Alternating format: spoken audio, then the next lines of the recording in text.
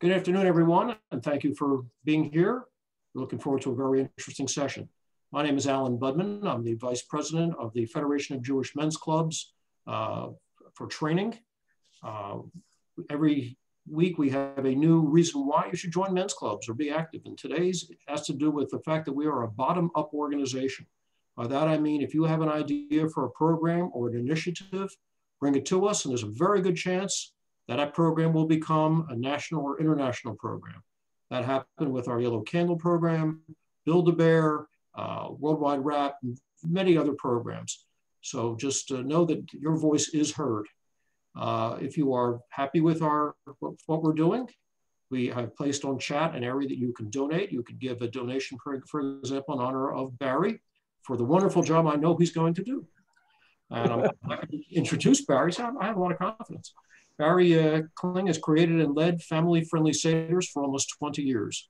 His Seders combine music, knowledge, and humor to create memorable, entertaining evenings for participants of all ages. Barry, without further ado, the floor is yours.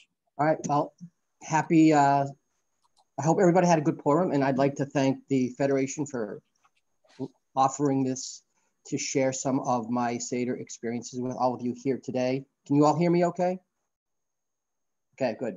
Um, so I just want to tell you, so this whole thing came about as when, when I got married with my wife and we had kids and we were starting to think about Passover and having a Seder, we thought back to the Seders we had and attended when we were younger. And they were kind of two extremes. There was the say every prayer, say read the entire Haggadah, stay up till midnight. If you don't really understand Hebrew, you were kind of just sitting there doing much of nothing. And then there was the ask the four questions, say the say Kiddush, uh, and then someone would ask the fifth question, when do we eat? And then the chicken soup would come on out. Um, it was kind of two, two extremes. And we decided that there had to be something better. So we kind of challenged ourselves over the years to create a Seder that was different and uniquely ours. Um, something that would be, as you'll see, real, personable, personal and memorable and fun. Um, over the past 20 years, we have tweaked it. Um, as our most of the tweaks are a result of the Seder guests growing older. We started when my son, who just turned 21, just turned 22, was a year old. And I also have a 26 year old, soon to be 26 year old daughter. Um, we've evolved it as they as their ages have evolved. It started when my daughter was like five, and we've kept going and going and added more more things in. We've invited additional families in we have about four or five families that come every year. And even last year when we had to do Zoom, I'm happy to say that every family still attended. So we basically have had 100% attendance every time we've had our Seders. Um, and we've had people knocking at our door trying to get invited to our Seder. So it's kind of been fun over the years. Um, so with that said, I talk a little bit about our goals. One of the biggest goals of our Seder, click here, that clicking? Um, is this, I love to refer to this quote by Rav Kook, which is Hayashan Yit Chadesh Chadash Yit Kadesh. All about making the old new and then taking that new and making it holy. So what we like to do is we like to, uh, so what the purpose of this webinar is, is to give you some ways that you can transform your Seder from whatever experience you have um, into something that might give you a little bit more interactivity, might be a little bit more uh, fun for people depending on their ages. Um, and it just some new ideas, uh, embrace the new ideas and kind of reinvigorate the tradition of the Seder. I know that my kids look forward every year to our Seder, which when I was growing up, I really dreaded going to the Passover Seder. So it makes me feel great that some of the stuff that we've been able to do has reinvigorated that tradition and that love for Passover in my kids. Um, so what we're going to kind of talk about is going to be kind of general concepts um, on the various kind of what I like to say the big sections of the Seder. So we're not we're not going to like get down and dirty into into the readings of a lot of the prayers, or just kind of the bigger picture type things of the Seder. Um, so we're going to start with what I like to say are some general ideas um, the first thing I like to say is, um, I'm to try to do this here. Okay. Oh, sorry. Okay, is we want to have an inclusive, welcoming environment. Um, so that means from the moment people come in, they're going to know that our Seder is going to be kind of different. And what I'm going to try to do, if my Zoom lets me, you can kind of see over here, this is a picture of our Seder table from a few years ago. Um, what I like to, what, what, what I love about this is every place is set the same way. Um, everybody gets the same silverware, the same plates. Everybody gets a placemat with their name on it that's been personalized, that's been personalized to them. Here's a kind of a closer up picture of, of a particular playmat. Over the years, um, they kind of designed to look like matzah. Um, these get made. We have a whole collection of them for people who have come. Uh, we have had wine stills on them, so it kind of works out that way. Um, the other thing that's important to us um, is we, um, up front, we do not recite the entire Haggadah. We do have a time limit on our Seder service. I think that helps people get more involved in the Seder. Um, and we do stick to our time limit. So we might say, if our Seder starts at six o'clock, we're going to be eating at 7.30. And at 7.30, wherever we are, we just start eating. Um, we do watch the time and we make sure that um, if we have to eliminate sections, I'm not afraid to do that because the longer it gets drawn out sometimes, the less likely people are to um, remain active participants. And I love to have people actively participate. Um, so I, we do go around the room, we do have readings. Um, and these are readings that um, I don't necessarily go around the table in seated order. I will randomly go around, we randomly kind of go around uh, kind of keeps all the guests on their toes. They don't know what they're going to read, so they can't kind of like read three second count. Oh, there's four people ahead of me, and I'm going to read the fourth section. Um, so they're kind of paying attention and looking along with that. Um, I will also do pre uh, pre-designed readings to help uh, people who might not necessarily be able to read Hebrew or things like that. So you can kind of see here, this is a reading that we would have a lot of the um, the the the, uh, our, the mothers at our table, all the women at our table. This is a special prayer that um, I actually found online. Um, it starts out humorous. It, toward, it starts out humorous, so we always have a lot of laughs, um, and then we will then towards the end it kind of gets a little bit more serious. But what's nice is everybody's got a role in it. So people who typically may not necessarily get roles at Seders. I remember growing when I went to Seders, it was very rare for the women to participate in the Seders. Some of the Seders I was growing up with, they were kind of left to just kind of flounder um, and sit. Um, and I didn't really like that. So we definitely have roles for everybody at our Seder. Um, overall, we try to make sure that we want to make it personal. We make it real, we make it fun. And most of all, we want people to remember our Seder so that they will come back the following year. Um, We'll, I think at the end of this session, we'll have some time for questions through the chat and Alan will facilitate that. So we'll just kind of, I'm just gonna kind of meander through this. Uh, think if you have questions, think about them, jot, jot them down. I'll be more than happy to spend time at the end going over whatever you wanna go over. Um, and the pictures and the attachments you're gonna see are things that have actually happened at our Seders from uh, over the years. Um, so it's not they all work. They've all been tried, uh, not just necessarily my Seder, but other Seders as well. Um, there are some original, is, is, some original stuff. There's also stuff that's been found on the internet, which I find is my best source for information. Um, so now the most important, one of the most people who are starting to host Seders tend to get bogged down a lot with the Haggadah. And I like to tell people not to worry too much about the Haggadah. Um, as I always kind of say, the Haggadah is there so that we say the right words. Um, it's really like when you're traveling, if you're planning a trip, let's say to Italy, you go out and you buy four or five different guidebooks, and they all have the same places you should see. They all describe them differently. Um, so to me, the every Haggadah is basically the same content. What's important is how you actually use that Haggadah and how you actually augment it. Um, so I like to make sure that people don't be afraid to stray away from that Haggadah. It's just kind of there to set the guide for the evening. So when you come to a part of the Seder, maybe you take that road that you may not necessarily go down, you could always end up coming back to the Haggadah. So what you see here um, on these screens are three things that we typically add in every year kind of straying away from the Haggadah. Typically, you know, everybody on Shabbat, you bless the children, but that is conspicuously absent from the Seder. So we always make sure to bless our children at the Seder. Um, kind of gets them involved. It's a little different. It adds a little bit to the service. Um, then candle lighting we always do at the Seder, um, but it's typically usually the, the hostess might get up and light the candles and, and say the bracha over that. Uh, but we like to get everybody involved. So we will always have a reading specifically geared to lighting the candles that all of the women will get up to, or anybody who wants to will get up to and participate in. Um, and then over at the end, again, like I said, we have this Miriam's cup, which we kind of stray when we get down to the cup of Elijah. We say now we're going to have a Miriam's cup ceremony.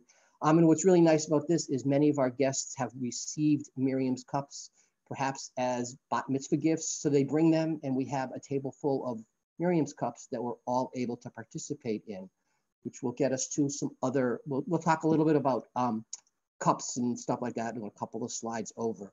Um, so these are just ways that kind of stray from the Haggadah. Now, at our house, we stray our strays, the the role, the way the, the rules of our road are kind of guided by the themes of our evening. So we tend to have themes of, to our Seder. So what you see in front of you are just two of the themes we've done. Um, one of them you can see on the right-hand side of the screen, we did a Harry Potter Seder, and then we did a Disney Seder one year. Um, the themes um, basically, we then have all those other readings that we create. You'll see throughout the night, some of the, throughout this presentation, other readings kind of come back to those themes. So we actually had, uh, we'll see later, we actually in our Disney Seder, when we talked about the four sons, we kind of related to four sons to the characters from Winnie the Pooh. Um, so all of the things were still there. We still did the regular four sons in the Haggadah, but we also had um, a Disneyized version of them. So we always have that kind of guides us um, and keeps us focused. Uh, it keeps it keeps us focused. It also highlights some of the things we're going to learn throughout the evening. Um, and so when we have our theme, when we introduce our theme, our theme is always introduced with some relevant thing to the theme. Um, it might be a song. So if you kind of see over here, this was the way we introduced our Disney Seder. Um, and if you can imagine, um, the opening of the Lion King movie where they hold baby Simba over the mountain and sing that really weird language. I'm not sure what they're saying.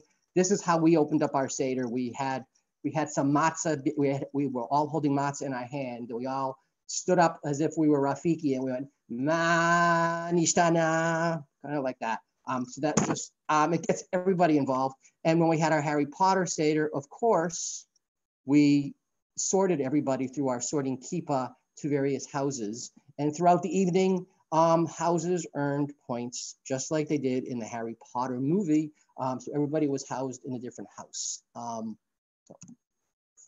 Other themes that we have tried over the years, just to give you a note, is um, we did a theme, a, a Las Vegas themed Seder, where we also learned a lot about the Jewish history of Las Vegas. And it's amazing how much Jewish history and Jewish connection there is to Las Vegas. Um, we did the same thing one year with a tribute to Saturday Night Live and the Jewish connection to the world of comedy. And we learned an awful lot about the comedians who, some of the older comedians, the Borscht Belt and the comedians, and just the whole, the whole Jewish comedy connection. Um, we've also had typical Seders where we've talked about Broadway. And then one of my favorites was we did a Rocky Horror Passover Seder where it was basically an interactive Seder. So any of you who are familiar with the Rocky Horror Picture Show, when certain things happen uh, on screen, certain things happen in the movie theaters. So we had the same thing where we had when certain things happened at the Seder, certain things happened in, in the Haggadah, certain things happened in the Seder. So whenever, when, whenever we talked about Pharaoh, everybody at the Seder had to scream out mean and nasty. So throughout the night, we had a lot of mean and nasty going on. Um, so that's just one way we kind of keep everything flowing and a little bit different is we kind of group things by themes.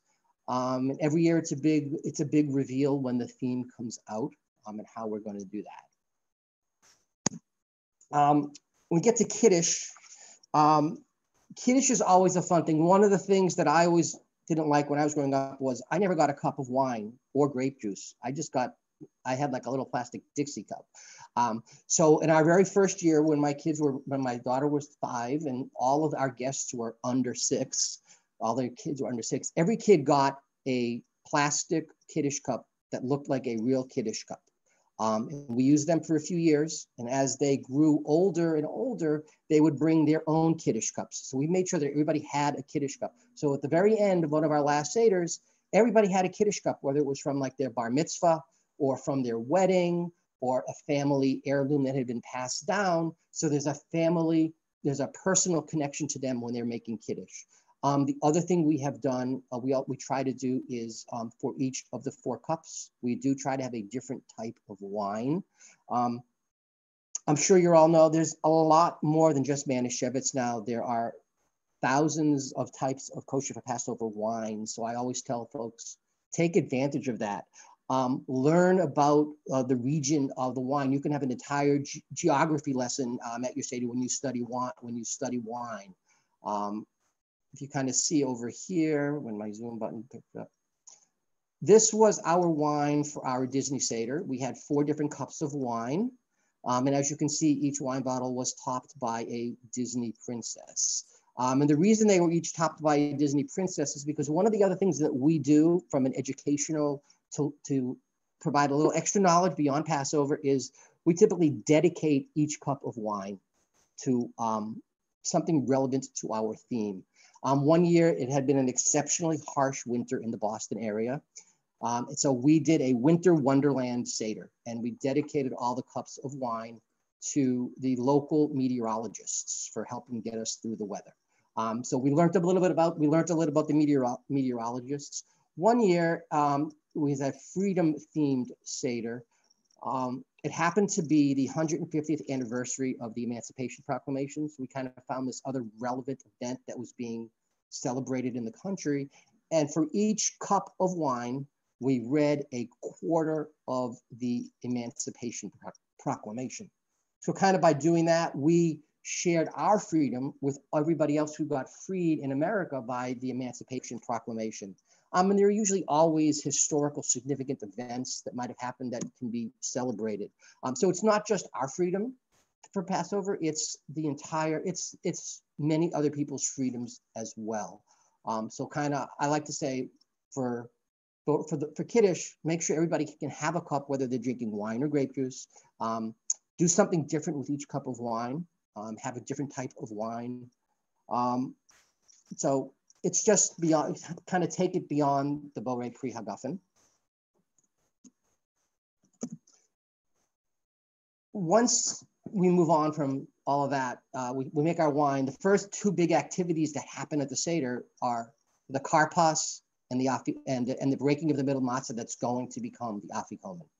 Um, and one of the things that um, when I was younger, when I went to a Seder or, or heard talk to friends about their Seders, I always thought you had to use a green vegetable for karpas. It's always very traditional that everybody uses a green vegetable. But I, one of my dearest, oldest friends, their family used a potato. Um, and I talked to him about that one year, and he said, well, basically, um, traditionally is green, but as long as it's not bitter, and you can say the same Borei Pri Ha'adama blessing over it, you can use it for karpas. Um, so they use potatoes. Um, we in our house typically will use a celery, um, but there are many, many um, fruits and vegetables upon which Borei Pri Ha'adama can be said. So I don't like to say limit it to a green vegetable. Um, what I found interesting also is that parsley that many people do use, uh, parsley you do not, are, is not really supposed to be a Borei Pri Ha'adama. So some people think it is, but in reality it's apparently not a Borei Pri Ha'adama on parsley from what my research showed me. Um, but you can kind of see some pictures here. So celery, uh, strawberries, potatoes, carrots, broccoli, cucumbers um, are all eligible to dip as your karpas vegetable. Um, I know some folks who, after they make the karpas, they actually have a crudité on the table of all fruits and vegetables from which Borei Pri Ha'adama could be said, and they kind of leave it on the table um, for kind of like an appetizer or a snack for people who might be getting a little hungry. Um, they've already said the blessing over it, so it's still able to be eaten. Um, what we then do is we you can also then take this opportunity to learn some more things about your choice of karpas. Um, we typically have a reading about our karpa, but our karpas. Um, so here you'll see um, underneath here, zoom in, I'll zoom in a little bit so you can kind of get a little hint of this. Um, we would have fun facts about celery. And we would go around the table and everybody would read their fun fact about celery. Um, I thought it was kind of cool that celery has negative calories. Um, it takes more calories to eat and digest celery than there is in celery. Um, so we kind of did all of that. Um, after we do that, um, is the is the afikoman. Um, now I remember growing up, and I'm sure many of you all do. we'd have the afikoman, we'd run around the house, and one person would find it, and then they would get this crisp prize, whether it be a dollar bill, a five dollar bill, or something like that and that made me feel really terrible when I didn't find it, but it made me feel amazing when I did find it. So um, in our Seders, everybody looks for the Afikoman. And it has been set, and we always have, when we actually use matzah for the Afikoman, um, enough Afikomans to be found for everyone to find an Afikoman.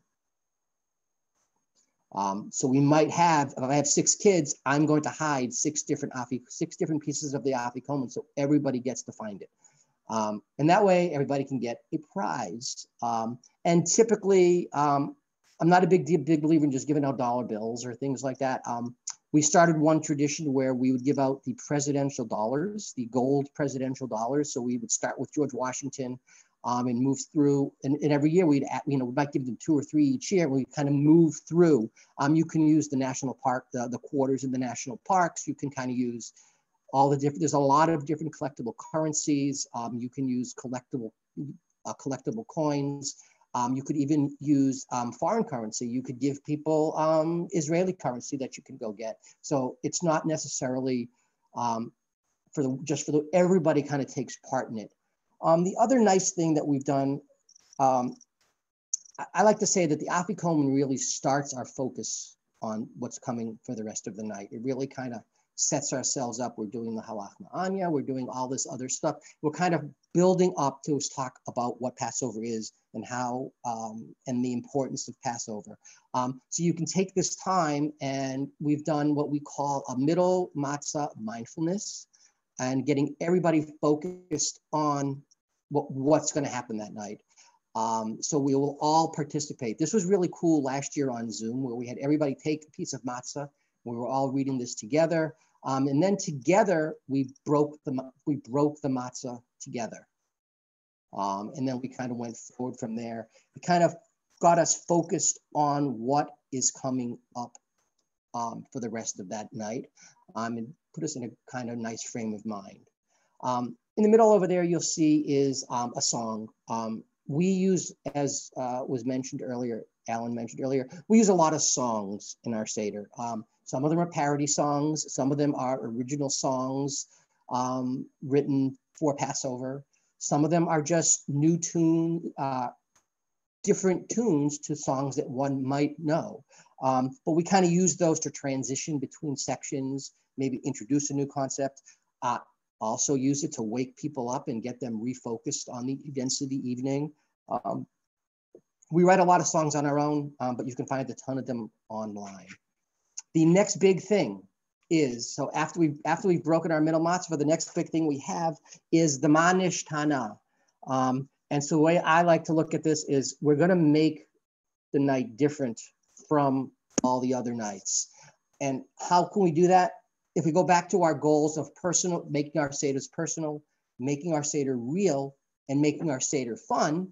Um, so one of the things you could go from a personal perspective um, is ask their guests if they could ask a fifth question, their own question, no question being a bad question. What question would they ask about Passover?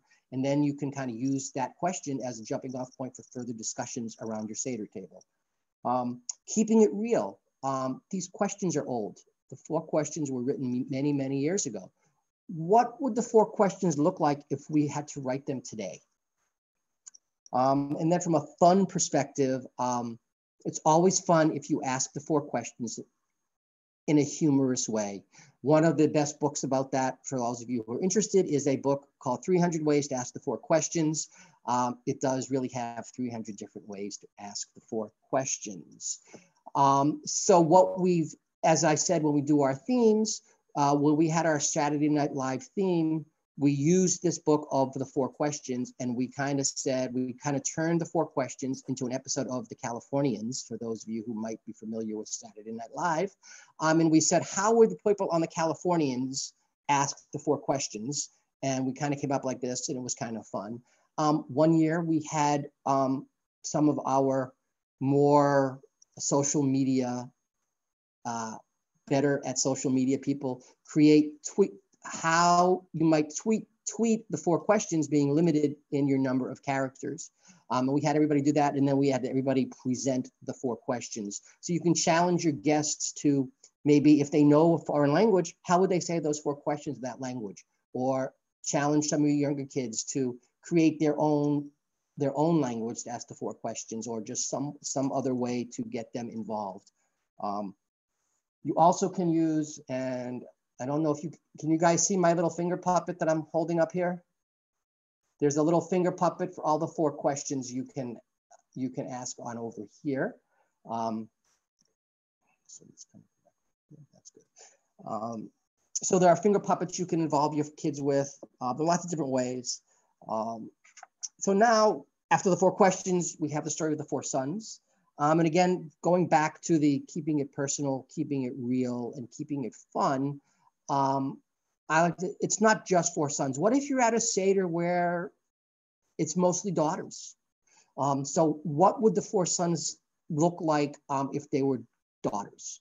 Um, so in the middle here, there's a little reading that I found online about four daughters or the four girls, um, which were then assigned to our Seder guests, uh, our daughters to read. Um, keeping it real, we, you can ask which of the four sons do you relate to?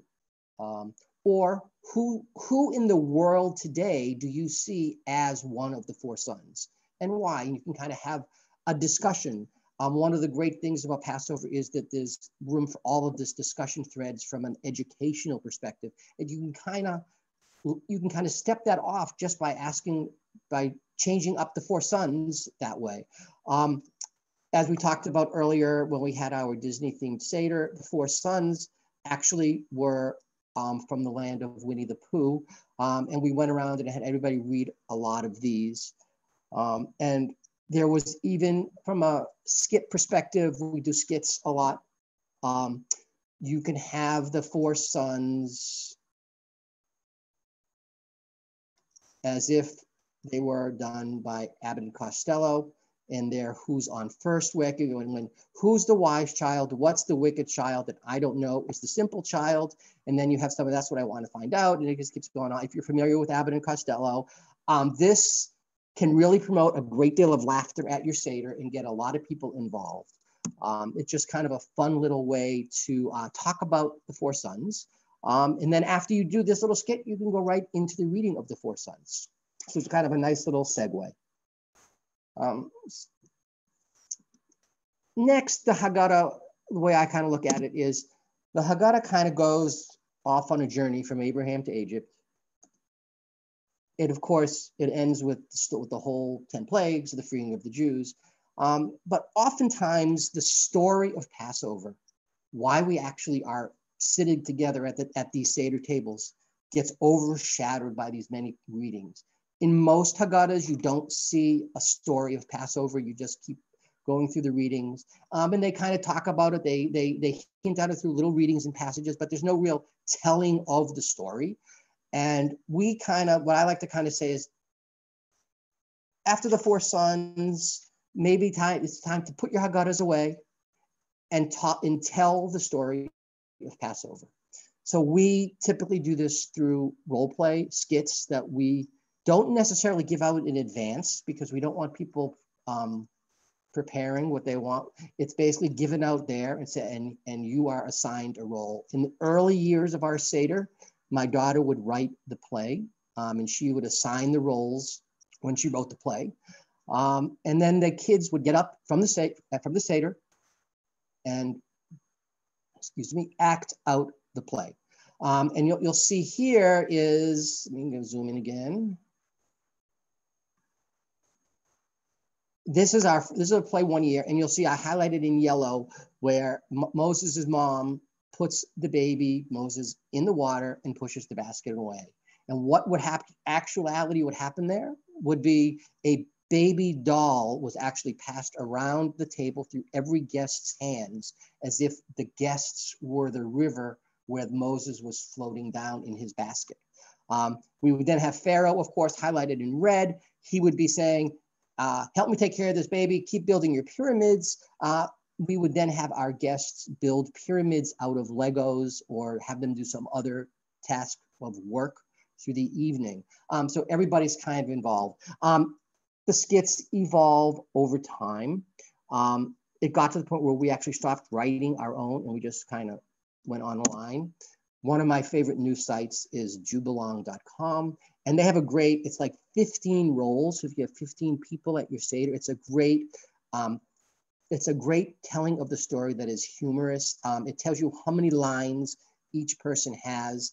Um, so we kind of go around here and we assign everything to all these people. Um, so we actually tell the story Passover so that we don't, so it doesn't get overlooked in the crowd.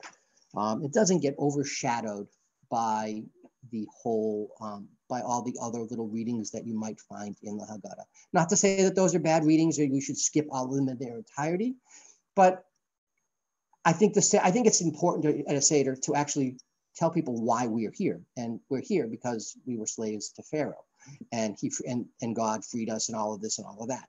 Um, so that's how we chose to do it. Um, the other, so then the other favorite part of our Seders, come over here for a second, is the 10 plagues. And at the 10 plagues,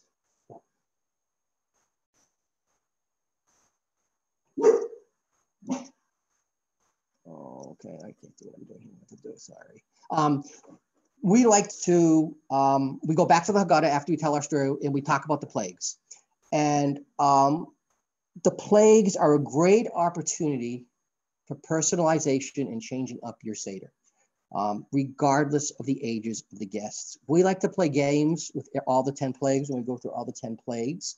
Um, we typically will tie our game to our theme. But here are a couple of samples of our favorite plague games. Um, one of them is a game called Plague-Oo. And in Plague-Oo, it's basically the game of taboo. Uh, people are given a plague on a card, and they're also given three words. And they have to describe the plague to the guests at the Seder, but they can't use any of those words. So in this example, you might be given the plague of frogs, but you have to describe the plague of frogs without using the word green, jump, or croak. Um, so you can kind of do that with all the plagues. Um, another one that we'll do when we have a theme um, is a game called Guess the Plague. Um, so these are three sample Guess the Plagues.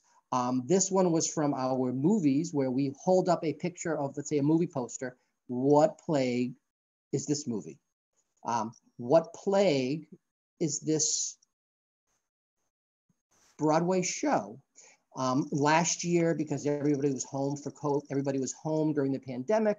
A lot of streaming happened, a lot of streaming. So we had our plagues were shows that people were streaming, popular shows that were streamed over Netflix and other uh, streaming media. So we had to had to guess which streamed show was one of the plagues. So these are kind of a game that we kind of put in. Yes, you got to plan it in advance, but or you also could just have a discussion. Um, what movie would you say represents? What would be a movie that you could say is representative of? You don't necessarily even have to have these. We had them all printed out and stuff like that because that's how I kind of deal with all of that.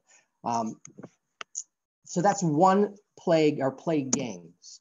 Um, the other thing that's cool are plague masks. So this is boils. Um, so that's kind of cool over there. Um, from a reality perspective, again, um, what would be what would be your own 10 plagues? Um, so we had our, like I said, we had plagues that also tied to our theme. So in our winter wonderland, we had what are the 10 plagues of winter and how would they relate to the, to the 10 plagues of Egypt? So we have the power outage, which was the winter wonderland or the winter equivalent of the plague of darkness. Um, and then there was a blizzard watch, which was the equivalent to the plague of hail. Um, so that's kind of that over there. The other thing that we kind of also have a lot of fun with, um, and I think it's a great way to encourage other types of participation and other types of um, fun is creating a top as a top as a top 10 list. 10 is a big number in passover. There are 10 plagues. Um, so each year throughout the 10 play throughout the night we would reveal our top 10 our own top 10 passover list. Um, it could be the top 10 ways. Um, the top 10 things you, you know that the date your child brings home for passover isn't going to work out or the top 10 ways uh, passover is like the ncaa march madness um, we did this one you see here is uh, um, is the top 10 Passover themed ice cream flavors. And we kind of decided all of them. Um, so you can kind of see what they were. Um, this this year, I will I, I will have to say that th when we did this year, um, my Seder, one of my Seder guests who typically does our top 10 list, actually made every one of those ice cream flavors. So we, as part of our dessert, we sampled the top 10 Passover themed ice cream flavors. Um, they were kind of, some of them were not really there, but some of them were really, really good. And we kind of ate them for many, many days afterwards. Um, I'm gonna try, I gotta try, oh, this is perfect. Um, the next thing I want to show you is that we do also is we bring this, you mentioned earlier with Harry Potter Seder, we brought the plagues to life. We actually envisioned every plague in our Passover Seder, actually acted them all out. And these were some of the tools we used. Um, if you remember uh, that clapper from television days, um, so we had a clapper on the lights that were in our room where we had the Seder. And we would talk about it was the plague of darkness. So Moses banged his staff on the ground. And as part of banging his staff on the ground, we would clap our hands and the lights went off because the clapper was there to turn them off. Um, some people may not, that may not work for some folks depending on um, how uh, their level of religiosity. And again, it's all what you're comfortable with. Um, we also would have, uh, we gave the kids bubble wrap for the plague of boils, which is a great way, as a great pastime for the plague of boils. Um, what I'm gonna do right for you right now hopefully, is I'm going to demonstrate how we talk about blood. So I think you can see my, this is a cup of water, and this is just a red cup.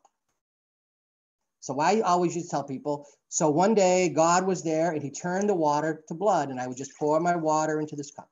And I'd say, see, the water's blood.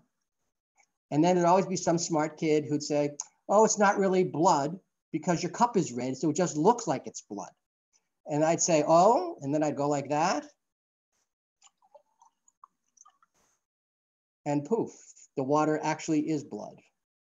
So, um, so it's kind of a little interactive demo that we would kind of do for the plagues. Um, it may, it brought, we would have little interactions for all of the plagues. Um, you can get very creative with the plagues. Um, so that's kind of our little story about the 10 plagues. Um, another great way to uh, add some interactivity in is doing your own virtual parting of the Red Sea.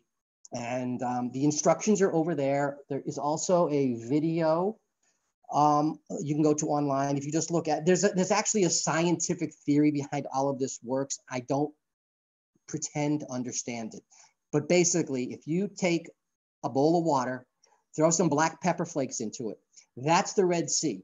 And you can tell a whole big fancy story about it. Um, and then you can put some dish soap on your fingertip. And then that dish soap can be Moses's staff. And when you put your fingertip that has the Ajax soap in it into that water, the pepper actually makes a path. So you've actually visually parted the Red Sea.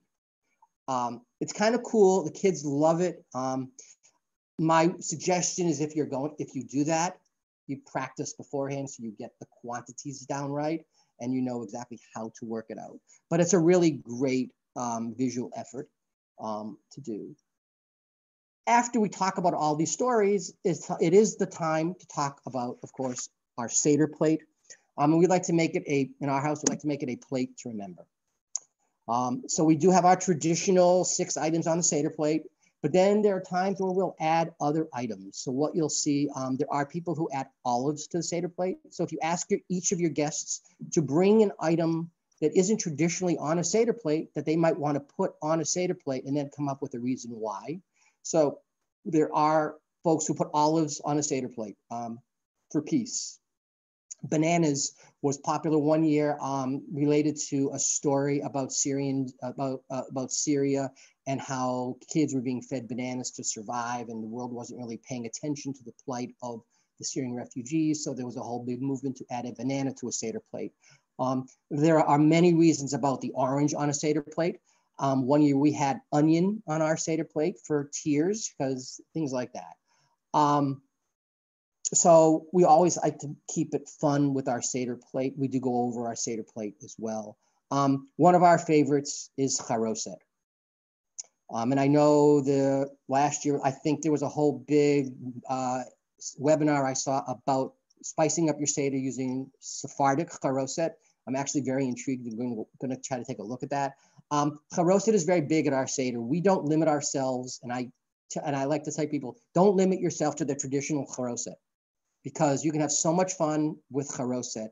Um, we actually can tie out your charoset to themes. So what you'll see over here are, we have three charosets. You have one charoset over here. That's the traditional charoset. And this was our charoset for our Saturday Night Live comedy Seder. So what we had over here was the Blues Brothers. So it was blueberry, it was a blueberry based charoset. And then over here, it was our Roseanne Bananadana Charoset based on Gilda Radner's character because Gilda Radner was one of the most famous Jewish uh, Jewish comedians of all time on Saturday Night Live. So this was a banana a banana based charoset. Um, during our Las Vegas Seder, of course, we had the Luxor pyramid made out of charoset with some ground nuts over here. Um, um, the other thing that's kind of interesting from a learning perspective, um, there's this whole, we all read Shir HaShirim um, in, in Shul on the Shabbat during Passover, um, and there's a whole allegory, a whole reasons why it. Um, many uh, scholars believe that the actual recipe for charoset comes, is very, is embedded in Shir HaShirim. So we kind of do that one year, and that we actually will build this. You can see here, it's apples and raisins, wine, apricots, spices, figs, and walnuts. Um, so there's a traditional um, recipe for charoset um, that you can kind of, and I like to say, explore the world. You can experience the world, um, the whole world through flavors. It's one of the strongest senses that we have. Um, and it can really spark a lot of discussions and things like that. And it's a really great way to um, bring folks into the Seder by, by uh, playing on their sense of taste. You can even have, um, I, I, envision one year um, a Food Network themed Seder where charoset making is an episode of Chopped. And every family comes and I, we give them a basket of ingredients and they have to make a charoset out of it. Um, so we kind of do that there. Um, and so I'm kind of, I just want to leave you guys and then we'll have some time for questions. Um, I know there's a lot here and don't kind of get bogged down in it because the Seder has been around for a long time. The Haggadah has been around for a long time. It can handle pretty much anything you throw at it. If you want to get something, I hope you found something you might want to explore deeper um, and play with a little bit. Um, but I just want to let you know, I just want to leave with you the fact that you can, there are things you can do. Um, whatever you feel comfortable doing, um, don't worry if it doesn't work. Don't feel like, oh, it's a mess and I'll never try it again. I can tell you I have many, many things that we've done that we'll never ever do again, but that didn't stop us from trying other things.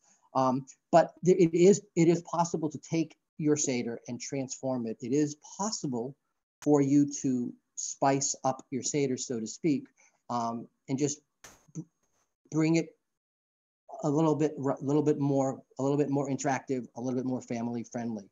Um, and so I'll just say from my Seder to your Seder, I thank you for your time and I'm more than happy to take any questions or anything else you want to share with. And I can, I think I'll let Alan manage that part of it since I can't deal with any of that.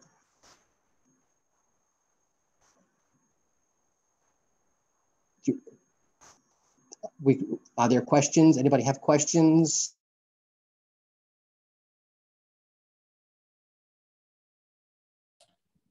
Okay, I'm allowing everyone to unmute themselves if they want to, to ask any questions. Let's see, on chat, we have uh, Bruce Fagan asking, uh, Barry, can you send the PowerPoint to you or any of the participants that want it? Uh, I can. Um, well, I, I have I have it, and I have a list of people, so I'll take care of it as long as it's okay with you. It's per it's perfectly okay with me. Um, just you know, the um, some of the links in there are live links. There's a couple of links that might be actual live. So if you click on them, you'll actually get to the link. Okay. Uh, Jerry said we created two games for our seders: Passover Jeopardy and Passover Bingo. Both have questions, answers, and clues that draw on both the Passover story and rituals as well as relevant events in our family and modern day events and ideas.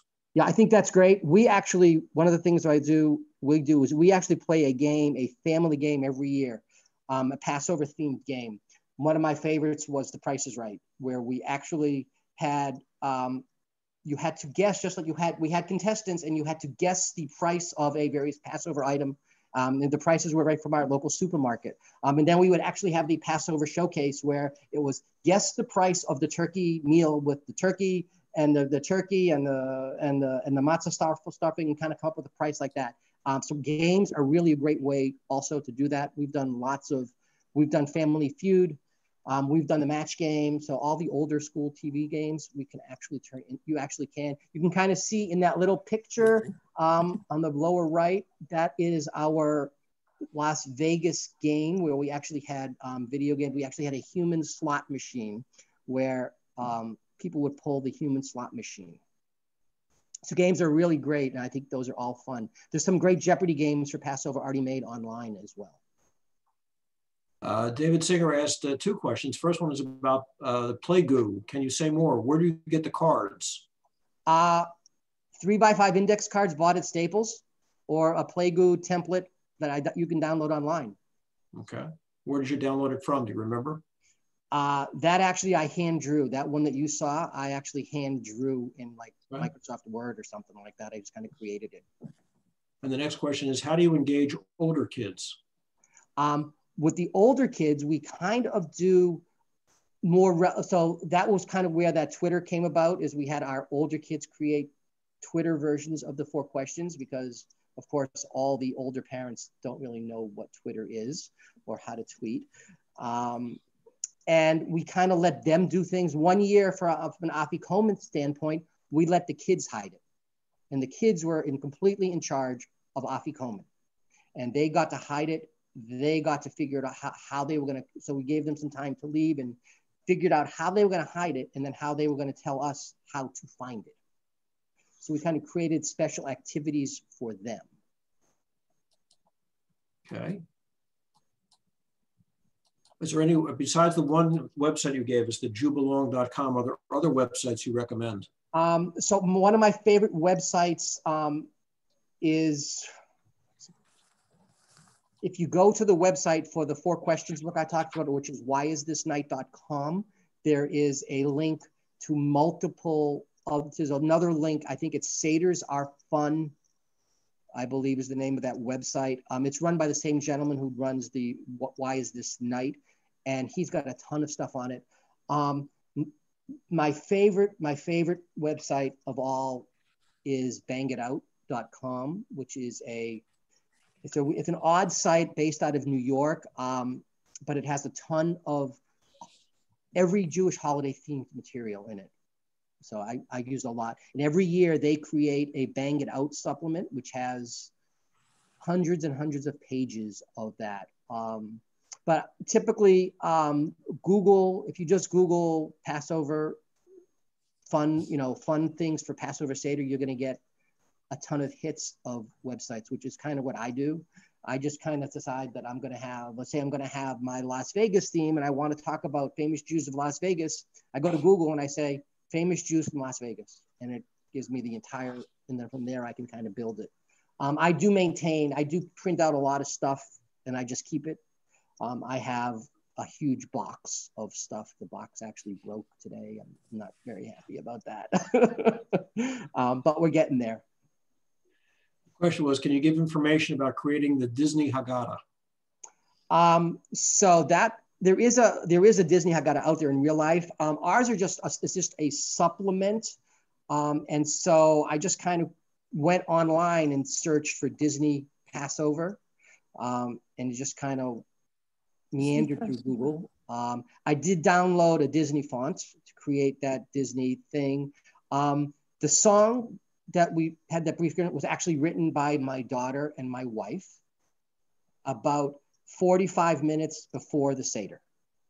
It was, it was, it, was, it was like, it was really crazy, um, but it was really a great hit. Um, the wine bottles, the wine bottle openers, um, but the readings, uh, we just kind of, there's, there also is um, in that Disney's Haggadah, there was a song, um, it's to the tune of supercalifragilisticexpialidocious. Um, then there was also with a, a spoonful of charoset helps the horseradish go down. Every one of those songs was found online. Um, I can, if you want, I can send you a copy of our Disney um, supplement, and that can be distributed out. I can forward it over to Alan, and he can send it out if you'd like. I have I have word versions of all of our Passover stuff, so I can send it off to Alan if that would help. That'd be great, please. Anybody else have any questions? Okay, well, Barry, I want to thank you so much. I want to thank all for participating. I found it very thank interesting. You. I think that was great. Thank you. Great thank job. you very much. I'm glad you all enjoyed. I hope you get something out of it. Um, a lot of fun. So yeah, um, there's a lot of other interactivities that we could do. Um, just oh, I'll just show you this here. This was for um, the plague of cows. We had a bunch of these. You all know what this thing is. um, the kids loved it during the appropriate time at the Seder. Um, I only have one left because the other ones kind of disappeared. Um, I didn't want to have them all. But um, even those little kid toys, see and say, they're actually a great toy for Passover. um, it's amazing what's out there in the world uh, there used to be where you couldn't go into a store. Uh, you had to go to like your kosher butchers um, and things like that. You have to go to kosher butchers to get anything related to Passover or Judaica shops. But now they actually have them in the supermarket. They have things you can use. Um, really amazing to me that they have all of that stuff. Um, it's sad to me that it's all in the supermarket right now because that means Passover is right around the corner. Um, so I kind of dread walking in the supermarket and seeing all the Passover stuff. Um, but it's there, and um, but you can all, you can go pretty much anywhere. Amazon has tons of Passover stuff. Parties, the party stores now even have Passover stuff, which never growing up you never have to go to the you go to the party store and there would never be birthday party stuff with Passover themed stuff in the party stores. So I would just tell people to have fun. Um, start small. I mean, we started really small. We did a few little songs and things like that. And then it's kind of every year it just grows and grows and grows. Um, we started with just, you know, a one hour fixed time limit. Um, we're now up to an hour and a half. So it's older. Everybody gets older. Everybody has a little bit more patience. Um, last year, though, we were limited to 40 minutes because of Zoom. Right. Had a free Zoom. And last year, of course, Zoom worked. Um, it worked. It's difficult. It's harder on Zoom. And I know, I think Alan or some, one of the other Allens is doing a thing on how to do it on Zoom. I would urge everybody to take that. Um, we actually had a trial run Seder one night. We did a fake Seder. We did a Seder one night on Zoom, and then we had our real Seder the next night. Um, so we could iron out the technology kinks. Where's the Kings that did that last year? Well, thank you again. Uh, if you'd Thank like to, a donation to FJMC to honor Barry, it's again, and it's at the top of your chat, fjmc.org slash donate. Again, I want to thank Barry and thank everybody for participating. Have a wonderful day. And I'm very happy Passover. Thanks, Barry. I need you to inspire me Thank you. Thank you very much. It was great. Have a great day. Thanks, Alan. Thank you. Thank you.